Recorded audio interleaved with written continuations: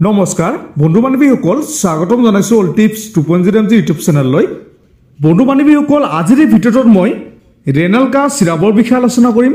এই ৰেনেলকা চিৰাপটো কি কি কামত ব্যৱহাৰ কৰা হয় ইয়াতে কি কি কম্পজিশ্যন আছে ইয়াৰ মূল্য কিমান কোনটো কোম্পানীয়ে মেনুফেকচাৰ কৰিছে এই চিৰাপটো ব্যৱহাৰ কৰাৰ পিছত আপোনাৰ কি কি বেনিফিটছ হ'ব আৰু এই চিৰাপটো ব্যৱহাৰ কৰাৰ পিছত আপোনাৰ কি কি ছাইড ইফেক্ট হ'ব পাৰে আদিৰ বিষয়ে এই ভিডিঅ'টোত আলোচনা কৰিম। তো বন্ধু বান্ধৱীসকল আপোনালোকে ভিডিঅ'টো স্কিপ নকৰাকৈ আৰম্ভণিৰ পৰা শেষলৈকে চাব। বন্ধুসকল ৰেনালকা চিৰাপটো ষাঠি এম এলৰ পেক আছে। ইয়াত থকা কম্পজিশ্যনসমূহ হ'ল ইয়াত আছে গখুৰা চাৰিবা মাষ্টা চাটাবৰি ইত্যাদি উপাদানসমূহ আছে। বন্ধুসকলে ৰেনালকা চিৰাপটো হিমালয়া কোম্পানীয়ে মেনুফেকচাৰ কৰিছে। এই চিৰাপটো চেম্পলৰ চিৰাপ হয়।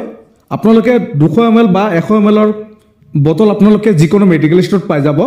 বন্ধুসকল ইয়াত থকা গখুৰাই বিকলে তেজ শতকৰা বৃদ্ধি কৰে। এই প্ৰক্ৰিয়াত প্ৰস্ৰাৱৰ জৰিয়তে নিৰ্গত হোৱা পানীৰ পৰিমাণ বৃদ্ধি কৰে যিটো চিষ্টাইটিছ আৰু ইউৰেথ্ৰাইটিছ বেমাৰ যেনে মূত্ৰনলীৰ বিষ মূত্ৰনলীত ফুলা আদিৰ বিৰুদ্ধে কাম কৰে। বন্ধুসকল ইয়াত থকা ছটাবৰীৰ এণ্টি মাইক্ৰবিয়েল গুণ আছে যিয়ে বিভিন্ন কাৰণত ইটোৱাৰ সৈতে জড়িত।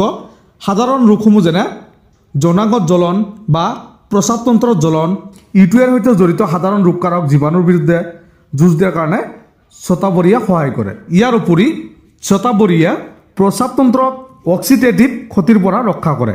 বন্ধুসকল ছটমূলে প্ৰস্ৰাৱত মেগনেছিয়ামৰ ঘনত্ব বৃদ্ধি কৰে যিয়ে প্ৰস্ৰাৱৰ স্ফটিকীকৰণত বাধা দিয়ে। বন্ধুসকলে হিমালয়া ৰেনালকা চিৰাপৰ বেনিফিট সম্পৰ্কে আলোচনা কৰিম। এই চিৰাপটো যিসকল লোকৰ প্ৰস্ৰাৱৰ সমস্যা হৈ থাকে সেইসকলৰ কাৰণে ব্যৱহাৰ কৰা হয়। পেচাব জ্বলা পোৰা কৰা পেচাবতন্ত্ৰত বিষ হ'লে এই চিৰাপটো ব্যৱহাৰ কৰা হয়। এই চিৰাপে ইউৰিনাৰী ইনফেকশ্যন ঠিক কৰাৰ কাৰণে সহায় কৰে। এই ৰেনালকা চিৰাপে পি এইচৰ ভাৰসাম্য স্বাভাৱিক কৰি ৰখাত সহায় কৰে। বন্ধুসকল এই ৰেনালকা চিৰাপে বিকট তেজৰ সৎ বৃদ্ধি কৰে।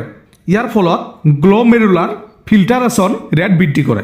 এই চিৰাপে ইউৰেথ্ৰাইটিছ আৰু চিষ্টাইটিছৰ দৰে ৰোগসমূহত বিকাৰৰ বিৰুদ্ধে যুঁজ দিয়ে। বন্ধুসকল এই ৰেনেলকা চিৰাপৰ ড'জ বা সেৱনৰ বিষয়ে আলোচনা কৰিম।